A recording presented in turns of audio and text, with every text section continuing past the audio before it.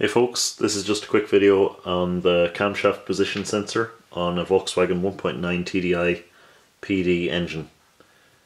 The issue I was having with this vehicle was a code 19463 which is camshaft position sensor G40 that's the type of sensor, G28 is your crank sensor, G40 is your camshaft.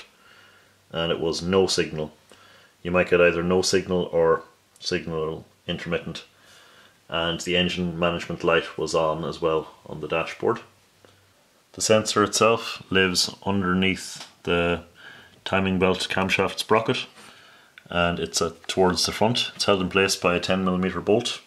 If you're going to remove the sensor, pop out the 10mm bolt and take out the rubber grommet inside and then you can disconnect your 3 pin connector and take it out through that hole.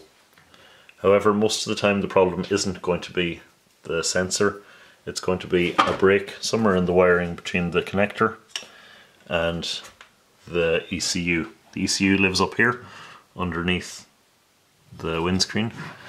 You're going to pop it out of its cage, take off the two connectors. To find out which connector you're dealing with, follow the harness back and down to the connector. It goes down underneath the starter motor up and around and underneath the battery cage. So I'm going to test continuity on the three pins of the connector the whole way back to the ECU plug. If you don't know which ones they are, if you don't have a di wiring diagram, you can look at the three colours. Here we have a green with a brown stripe, green with a purple stripe, and black with a white stripe. Find the same three wires on your plug and test.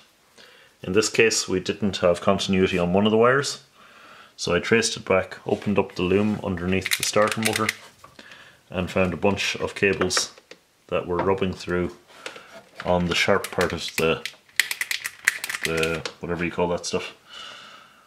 So what I did was cut out the bad wires, here they are, spliced in new wires, soldered them in, heat shrink and problem solved. Hopefully that's of some use to you. Always check continuity, resistance in your wires before replacing sensors.